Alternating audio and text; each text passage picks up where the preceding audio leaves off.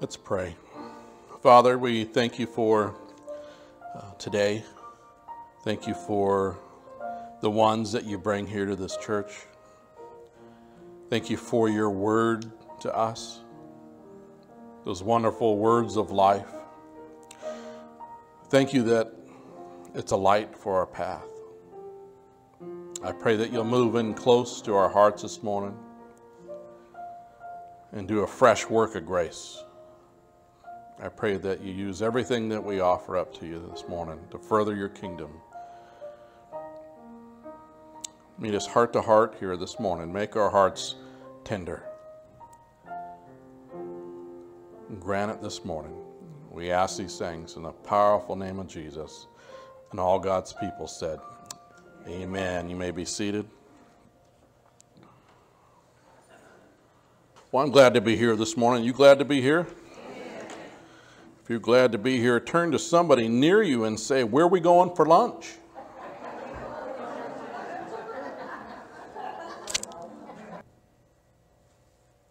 Anyone want to sing a solo for us?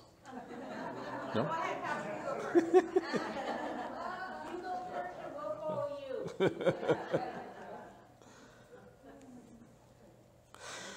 well, go ahead and uh, grab your Bibles and turn with me to the New Testament.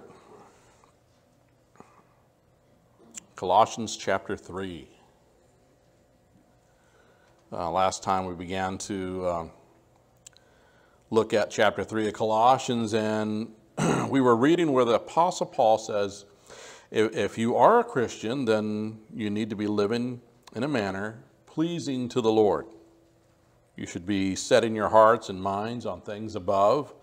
Uh, you need to be seeking things that are heavenly and hold eternal value and won't perish on this earth. He said, Desire Jesus Christ above all things, live a life and do things that'll be pleasing to Him. He says to put to death your earthly nature and uh, he actually lists some of those worldly things that we need to kill off in our in our sinful life. In verse five, he listed uh, sexual immorality, impurity, lust, evil desire, greed, which is idolatry, and he says that's the old you. That's the kind of life you used to live. And then in verse 8, he adds to the list anger, rage, malice, slander, and filthy language from your lips. And then he says, do not lie to each other. And then in verse 11, he wants us to understand that salvation is for everybody, right? Jews, Gentiles, barbarians, slave and free, rich and poor, every group of people. He says Christ is all and is in all. And for the Christian, Christ is their all. He's their only Lord and, uh, and Savior and all their hope and happiness. He's all in all things to them. So that brings us to our passage today where Paul closes out this section of the chapter, um, Colossians chapter 3. We're going to be reading verses 12 to 17 this morning. You ready? He says, Therefore, as God's chosen people, holy and dearly loved, clothe yourselves with compassion, kindness, humility, gentleness, and patience. Bear with each other and forgive one another if any of you has a grievance against someone. Forgive as the Lord forgave you, and over all these virtues, put on love, which binds them all together in perfect unity. Let the peace of Christ rule in your hearts, since as members of one body you were called to peace. And be thankful. Let the message of Christ dwell among you richly as you teach and admonish one another with all wisdom through psalms, hymns, and songs from the Spirit, singing to God with gratitude in your hearts. And whatever you do, whether in word or deed, do it all in the name of the Lord Jesus, giving thanks to God the Father through him. May God add his blessing to the reading of his word.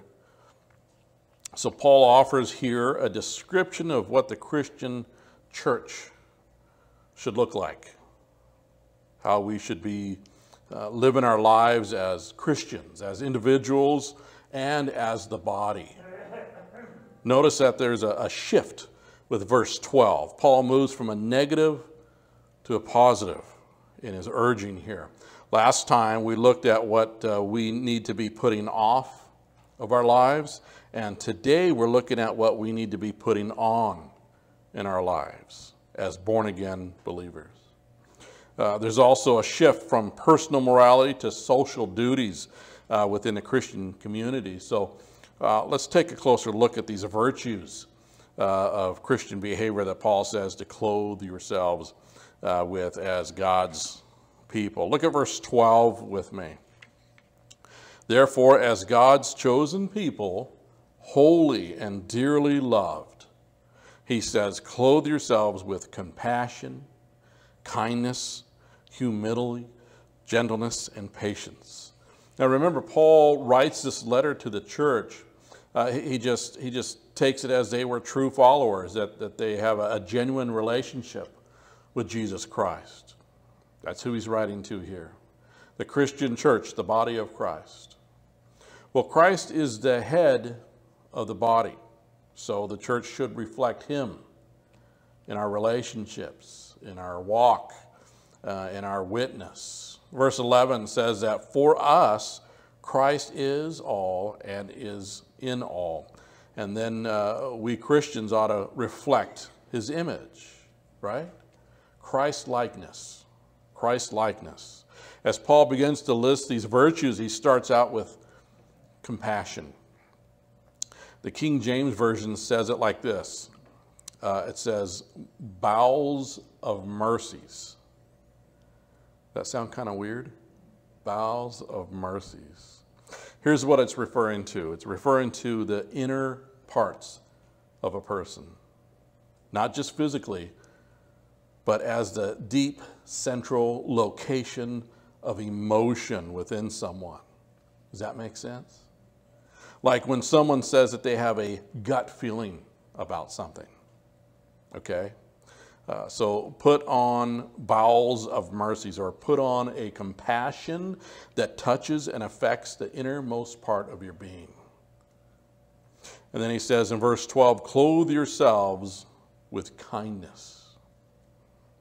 The word that's used for uh, kindness here in the Greek speaks to the kindness that God shows us, which leads to repentance.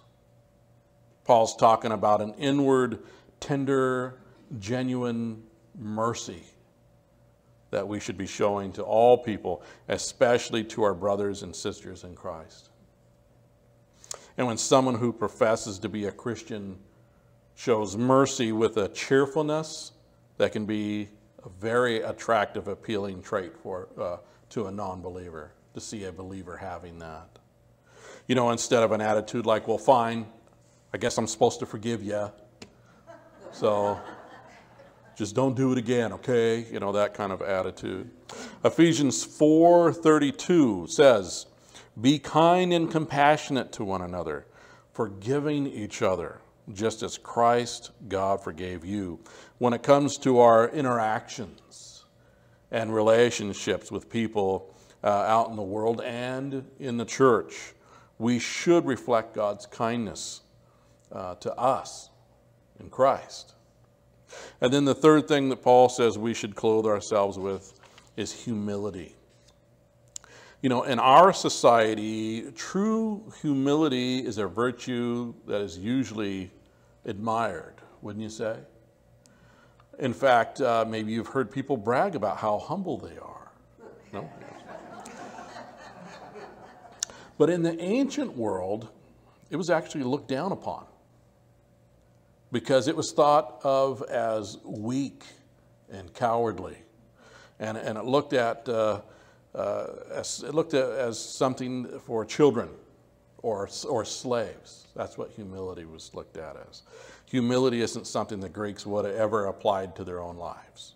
Um, but as we read about humility in the Bible, it's very different.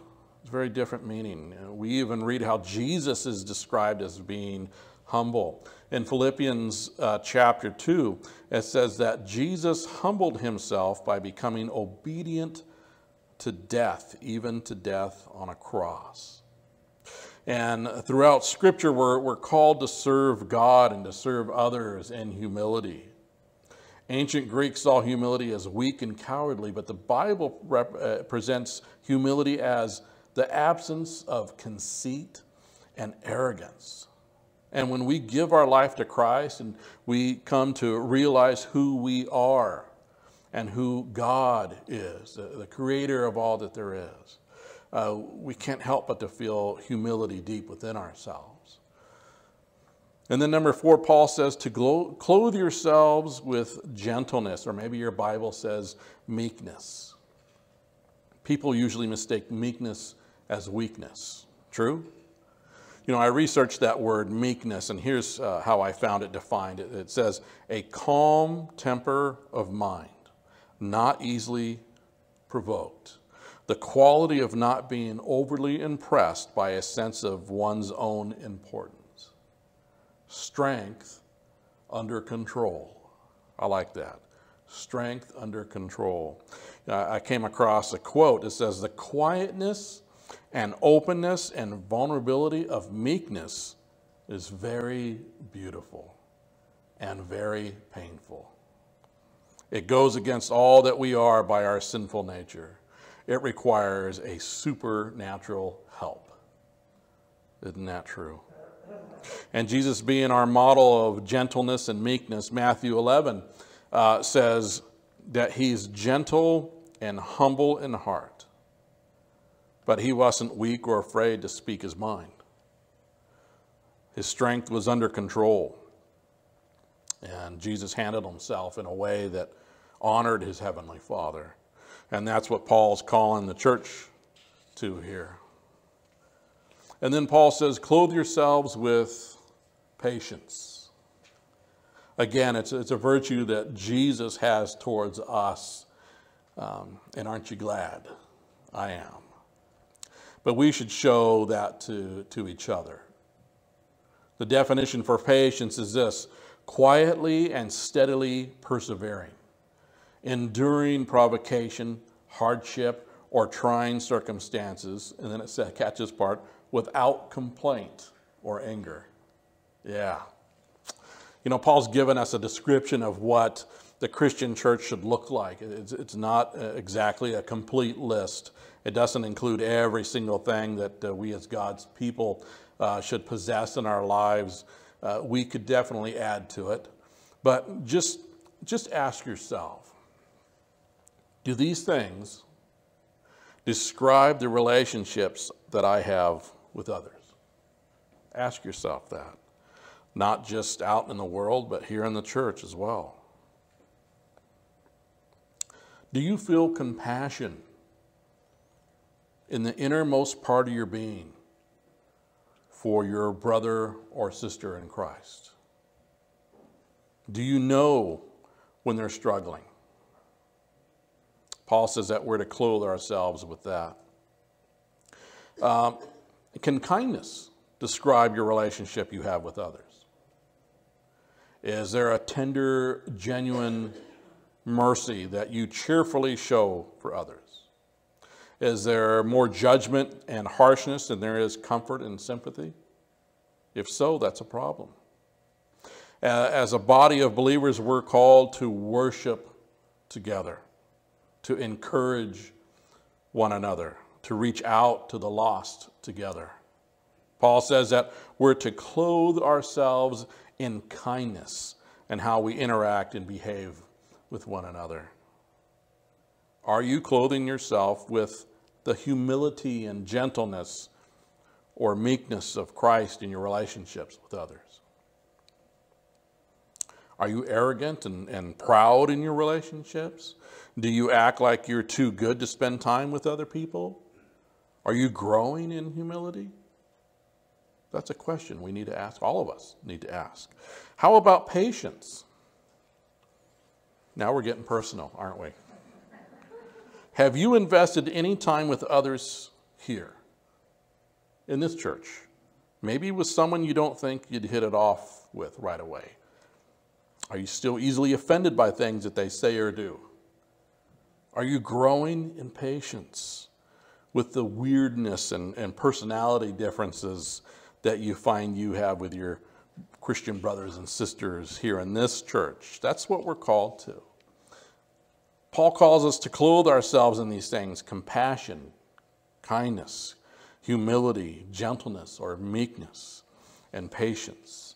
You know, and listen, I can't help but to think of the folks here who really do set a good example of these virtues. Okay? Um, so I don't want you to think that I'm trying to beat everybody up here. I'm not. This is, this, is, this is for me too. But I want to encourage you to keep going, keep, keep growing. Uh, I, I, want you to know that it's, it's encouraging to others who struggle in some of these areas when we see how well you, you, you uh, model these things, these virtues. And, and if, you, if you are someone who's going, well, I know I need help in this area, why not why not look around and see who does well in that area and go to them for some help or advice or whatever, you know?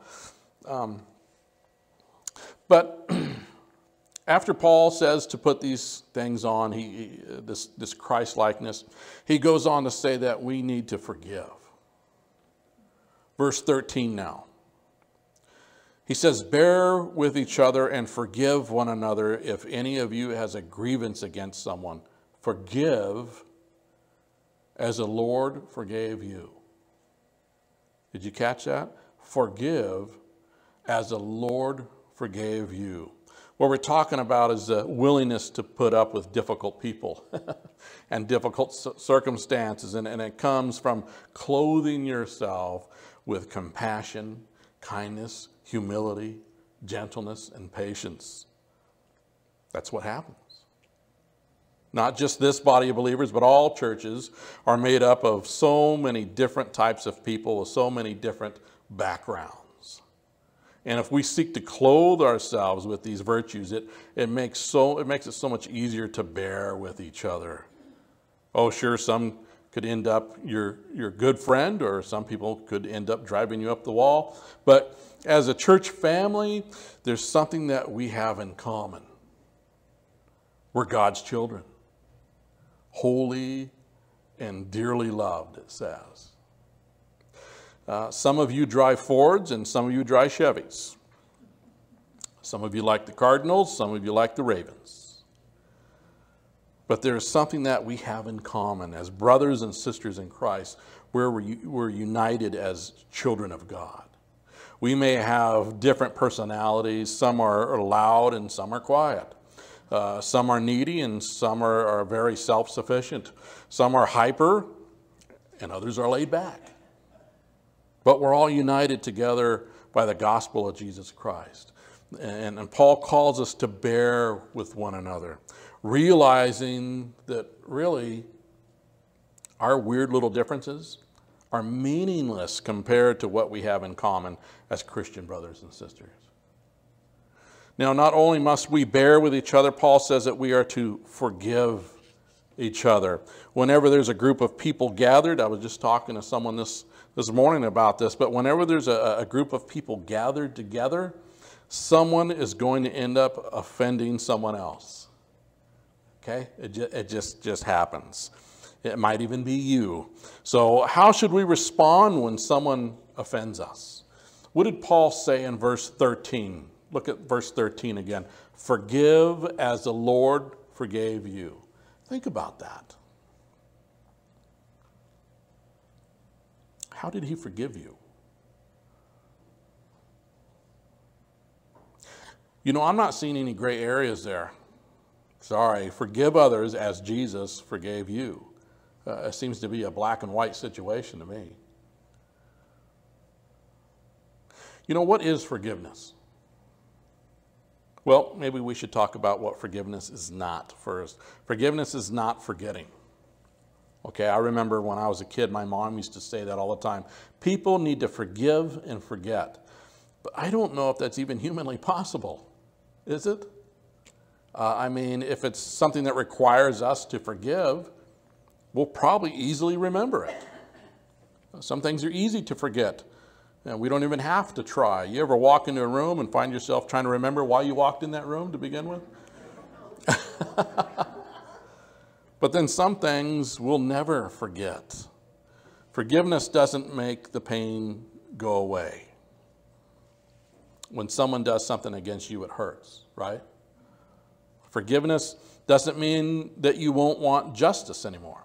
Uh, Romans 12 says that we shouldn't take revenge, but uh, to leave room for God to repay. It's not wrong to want justice, but leave it to God to take care of it. Forgiveness doesn't mean that we should make it easy for people to hurt us again, right? Establish some rules, set some boundaries.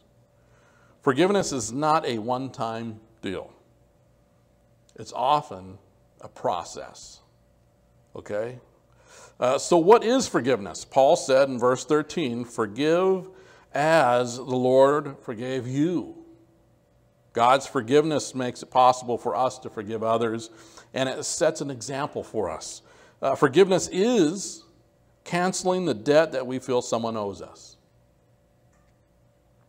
just like God forgave us and doesn't keep bringing it up against us from time to time we are to cancel the debt on the one who hurt us and not bring it up to them or ourselves. Like that Disney song says, let it go. You know that one? Yeah, it's going to be stuck in your head for the rest of the day now, I bet. Forgiveness is making the decision to do good to them and not do evil. Again, Romans 12. Look at in Romans 12 it says, uh, we're told if your enemy is hungry, uh, feed him. If he's thirsty, give him something to drink. Do not be overcome by evil, but overcome evil with good. And forgiveness is seeking reconciliation by restoring the relationship that sin has done so much damage. Uh, here's a question for us all a two part question, okay? First, have you been holding on to unforgiveness towards someone? Are you holding on to some bitterness towards someone you, who uh, offended you or, or caused you some hurt? And then the second part, what's holding you back from speaking to that person or forgiving them? Maybe you can't speak to them because uh, they're not around anymore, or you don't know how to contact them, whatever the situation is. But listen, you can still go to God and tell Him, and He'll, he'll help you. He will. And I believe that if we, as a body of believers, seek to clothe ourselves in Christ likeness and bear with one another and forgive one another, man, there is no telling what God could do here in this church. Amen? All right, well, let's stand together as we close in prayer.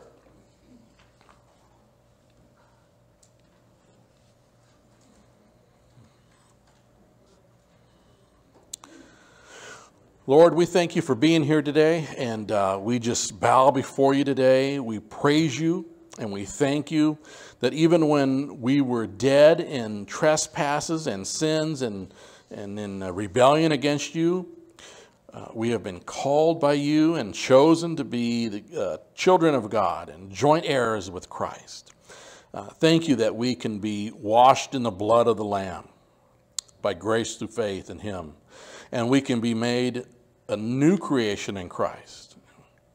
So thank you for forgiving us and setting us apart for His glory. And I pray that uh, in Him we'll, be, we'll put on a, a, a heart of compassion and kindness, humility, gentleness, and patience, so that Christ is all in our life.